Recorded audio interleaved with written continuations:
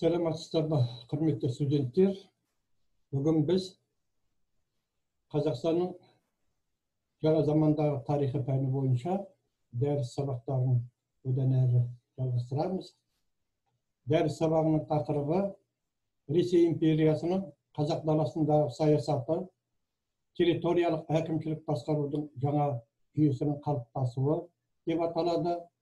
Тақырып бойынша төмендегідей мәселелерді қарастырамыз бірінші игельстром реформасы кіші жүзде хандық билікті жою қажеттілігі. Екінші хандық билікті жоюдағы дағдарыс хандық басқарудағы проблемалар. Үшінші шет бекіністер құру мәселелері. Төртінші 1822 және 1824 жылдардағы жарғылар және олардың мән мазмұндары дәріс мақсаты 18 ғасырдың соңы 19 ғасырдың бас кезінде қазақ хандығындағы дағдарыстар және патшалық ресейдің хандық басқару жүйесін жоюдағы әрекеттерін ашу болып табылады. Әдебиеттер. Бес томдық қазақстан тарихының үшінші томы. Жаңа және қазіргі замандағы қазақстан тарихы оқулығы. Сондай ақ интернет ресурстарында көрсетілген әдебиеттер. Бірінші мәселе бойынша. Жалпы 18 ғасырдың аяғы 20 ғасырдың бас кезінде патша үкіметі қазақстандағы хан билігін жоятын уақыт келіп жетті деген қорытынды жасайды. Оған салмақты негіздер де қажетті бірқатар алғышарттар да жеткілікті деп ойлайды. Ол қандай мәселелер? Біріншіден қазақ хандарының халық алдындағы беделінің төмендеуі. Яғни хандық басқару жүйесіндегі дағдарыстың туындауы. Әрине оның астарында сол хандардың ресей патшалығы тарапынан сайланып қойылуы тағайындалуы жатқандығын айтып өтуіміз керек. Ә, әдетте ондай хандарды халық патша үкіметінің қарапайым чиновниктері ретіндегі жандар есебінде санады. Өйткені олар біріншіден тағайындалып қойылса екіншіден олардың басқару қабілеттілігі төмен болды әлсіз болды. Міне осындай әрекеттер белгілі бір дәрежеде ә, хандық басқару жүйесіндегі дағдарысты көрсетті. Екіншіден сол кезеңде ә, кіші жүзде болсын орта жүзде болсын бірнеше әкімшілікке бөліну жағдайы байқалды. Бұның өзі патша үкіметінің қазақтарды басқаруда өте қолайлы жағдай туғызды. Мысалы 1788 жылдары ертіс бойында қазақтар ертіс өзенінің сол жақ оң жақ бөлігінде бөлініп жайланып жүрді. 1801 жылы жайықтың оң жағалауында кіші жүзден бөлінген ішкі орда пайда болды. Мың да сегіз сегізінші жылдары ашаршылық кезінде кіші жүздің жиырма мыңға жуық қазағы башқұрт кантондарының аумағына уақытша көшті. Яғни бір кездегі тұтас жүздердің арасында ендігі кезекте байланыс болмай қалды бытыраңқылық байқалды. Үшіншіден сол кезеңдері шыңғыс ұрпағының бірқатары патша үкіметінің әкімшілігіне қарсы белсенді әрекет жасады. Міне осындай жағдайларды саралай келе патша үкіметі кіші жүзде хандық басқару жүйесін жоюды алға қояды. Міне осы бағытта мың да сегіз мың да жеті жүз сексен алтыншы жылы игельстром реформасы қолға алынады. Оның мақсаты кіші жүзде хандық басқару жүйесін жою болып табылды. Негізгі билік шекаралық комиссияның орын басатын шекаралық сотқа берілуі тиіс болды. Сол сияқты жаңа әкімшілік органдар расправалар құрыла бастады. Расправалардың негізгі мақсаты ең алдымен сұлтандарды басқару ісінен шеттету болып табылды дегенмен көптеген беделді старшындар алғашқы кезде оның құрамына енуден бас тартқан айтып өткеніміз жөн. Осы расправаларға кіші жүз сұлтандары да қарсылық білдіреді. Сондықтан да бұл әрекет нәтижесіз аяқталды деп айтуға болады. Жалпы игельстром реформасының сәтсіздікке ұшырауының ең басты себебін біздер дәстүрлі басқару түрін жоюдың алғы шарты қалыптаспауынан болғандығын айтып өткеніміз жөн. Міне осы өзгерістерге реформаға кіші жүз сұлтандары орта жүз сұлтандары қарсылық білдіреді олар кіші жүзде хандық билікті қалпына келтіру мәселелерін көтереді мына осындай іс әрекетте игельстром реформасы аяғына дейін жетті деп айтуға болмайтын еді бірақ бұл реформаның белгілі бір дәрежеде оң тұстары болғандығын айтып өтуге тиіспіз ол қандай мәселелер бірінші орал казак әскерінің қазақ ауылдарына шабуыл жасауына тыйым салынды. Ә, келесіде ә, қазақ малшылары қыстыгүні жайық пен еділ арасындағы жерге көшіп бару мүмкіндігіне ие болды. Сондай ақ орынборда айырбас сарайында сауда саттық ә, мысалға мәселелері барынша жолға қойылды. Дегенмен бұндай әрекеттердің өзі үкімет ойластырған тыныштыққа әкелмеді. Қазақтар өздері дербес іс әрекетте болды міне осындай жағдайда кіші жүзде қайтадан хандық билікті қалпына келтіру қажеттілігі туындады. Енді осындай қайшылықтың пайда болу жолы я оның кезеңдік ерекшеліктері қандай болды? Міне соған қысқаша тоқталуға болады. Жалпы кіші жүзде өздеріңізге белгілі он сегізінші ғасырдың аяғы он тоғызыншы ғасырда бас кезеңдерінде бірнеше хандар билік етті.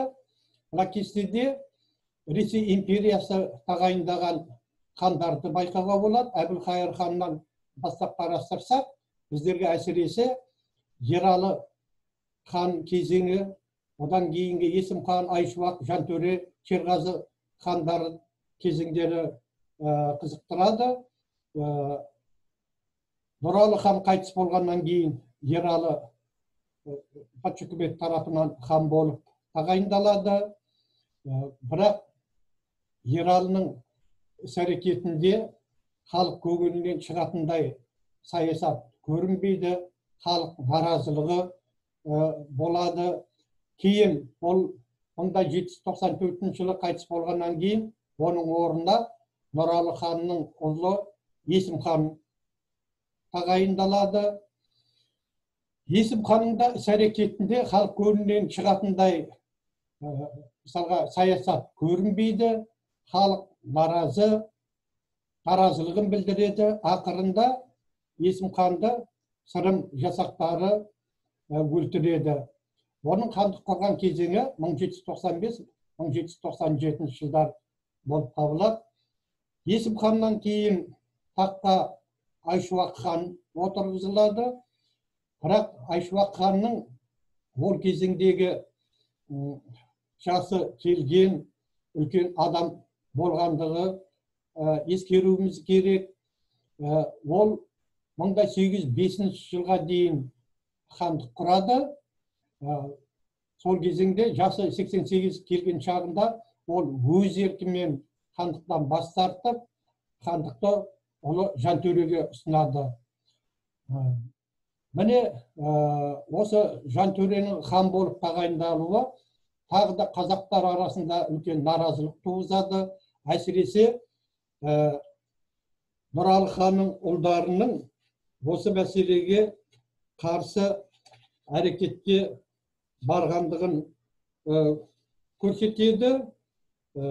Соның әсерінен қаратай бөкей орман сұлтандар жантөрені өлтіреді. Бұл жағдай 1809 жылы болған еді 1810 жылы 90 жасқа келіп айшуақ қайтыс болады. Жантөреден кейін айшуақтың тағы бір ұлы шерғазы хан болады.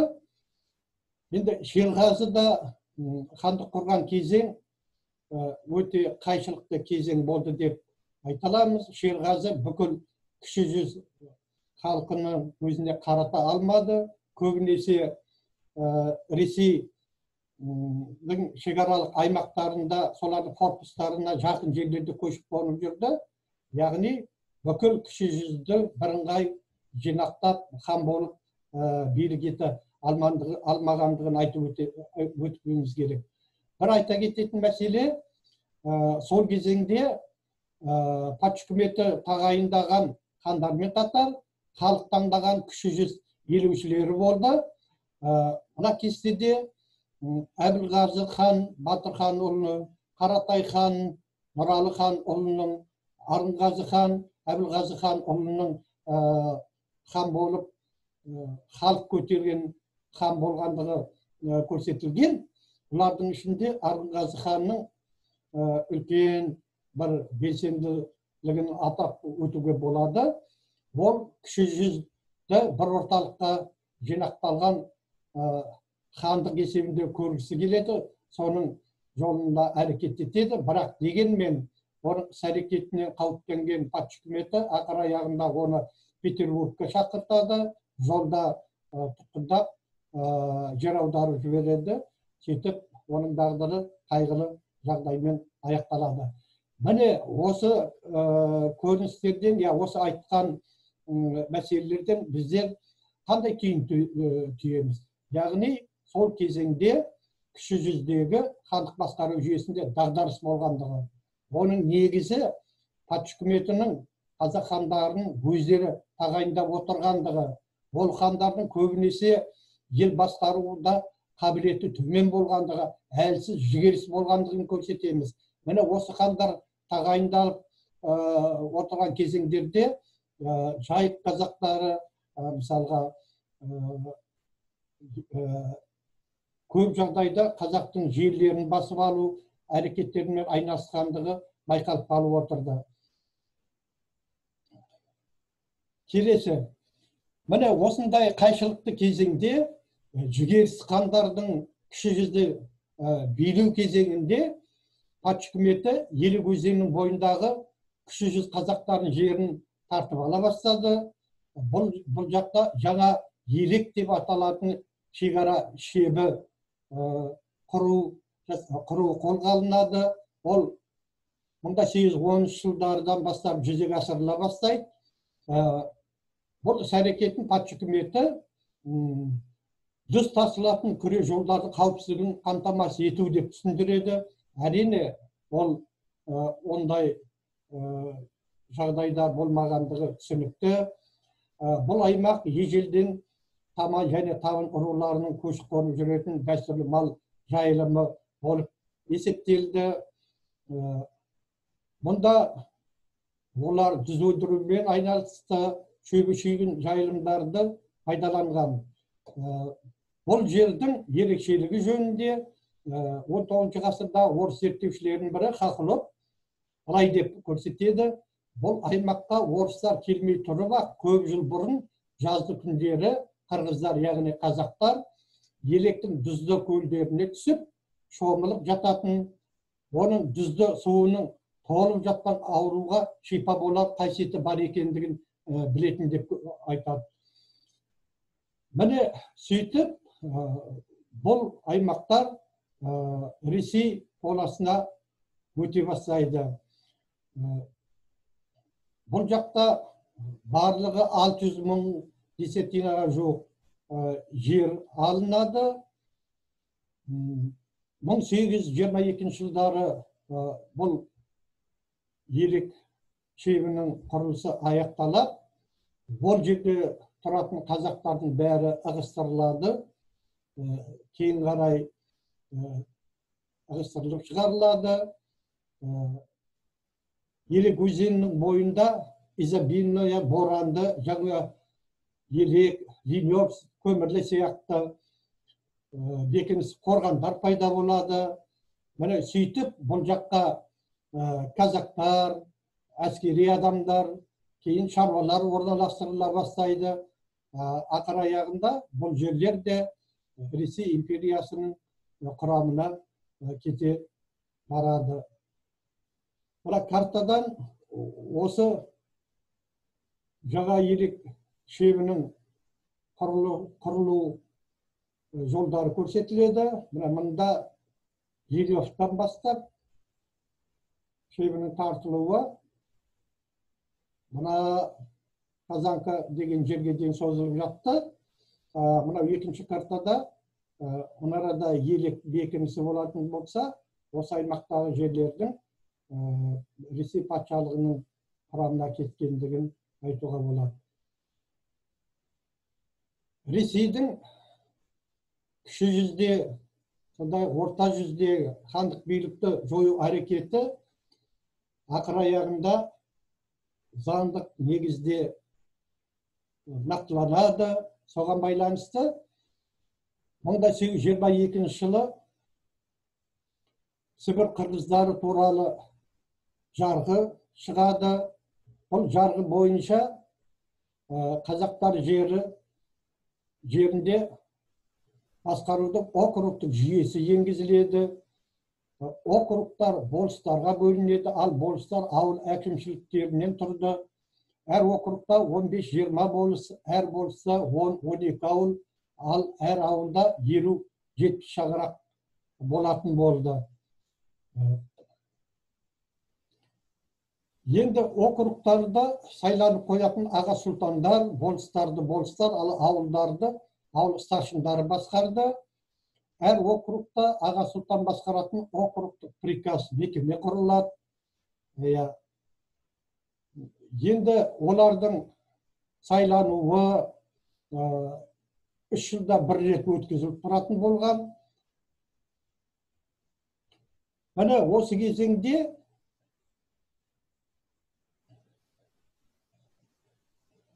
кіші жүзде де басқару жүйесінде өзгерістер пайда болады. Бұл жақта мың сегіз жүз жиырма төртінші жылы орынбор қырғыздары жөнінде жарық шығады. Оны генерал губернатор эссен дайындайды. Міне осының әсерінен кіші жүздегі хан билігі жойылады.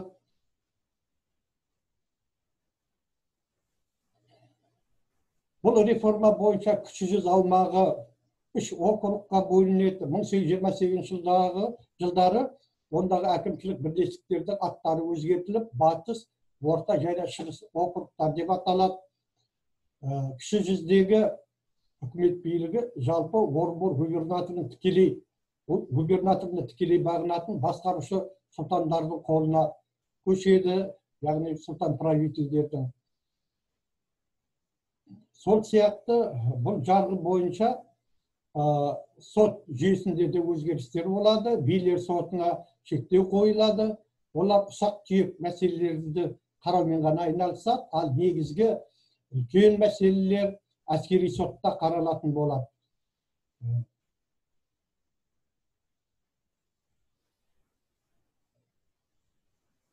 Мың да сегіз жүз қырық төртінші жылдары орынбор қырғыздары туралы жарғы орнына жаңа ереже шығады. Ол ереже орынбор қырғыздары туралы ереже деп аталды. Бұл ереже бойынша да орынбор әкімшілігіне қарайтын қазақтар тұратын жерлер ресей империясы аумағының бір бөлігі деп жарияланады. Яғни бір сөзбен айтқанда орынбор өлкесі ресей құрамына қосылады. Бұл жақтағы басқару жүйелерінің барлығы орынбор шекара комиссиясының құзырында болады. Міне сөйтіп белгілі бір дәрежеде бұл жақтағы бұрынғы дәстүрлі хандық басқару жүйесі жойылып оның орнына ә, патшалық ресейдің басқару жүйесі енгізіледі. Бұның өзі белгілі бір дәрежеде патшалық ресейдің қазақстанды отарлауының жаңа бір белесі жаңа бір жолы болып табылады осымен дәрісіміз аяқталды көңіл қойып тыңдағандарыңызға рахмет